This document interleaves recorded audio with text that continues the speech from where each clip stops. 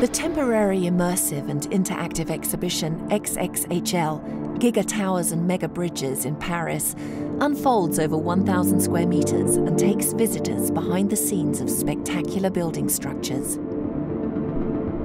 In collaboration with the museum and renowned industry experts, complex content was translated into a sophisticated media scenography.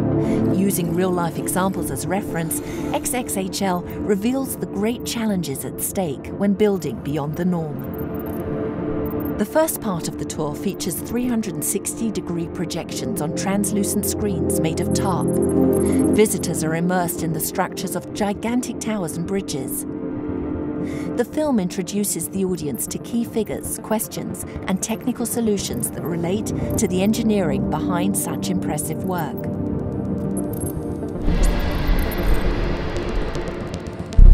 The second part of the exhibit offers visitors the possibility of discovering actual building materials and learning about a specific topic in greater depth. The experience takes place over a series of eight tables that reflect the raw aesthetics of a construction site and showcase actual objects, projected visuals, and interactive content. An augmented reality app lets visitors explore a city district model in detail. Before and after simulations show the current transformation of Montparnasse Tower into a greener reality. Real-time graphics provide a view into the structure of the tower and its foundation, which incorporates a subway connection.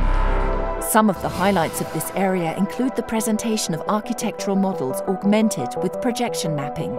A video projected and mapped onto a model of the 828 metre high Burj Khalifa skyscraper in Dubai shows its construction using self climbing cranes and reveals how this gigantic tower can withstand the wind and rest on a ground as soft as desert sand. A model of the Millau Viaduct features the longest cable stayed bridge in the world. Animated visuals allow to understand the challenges taken up for the construction of this iconic structure and its insertion in the environment of the valley.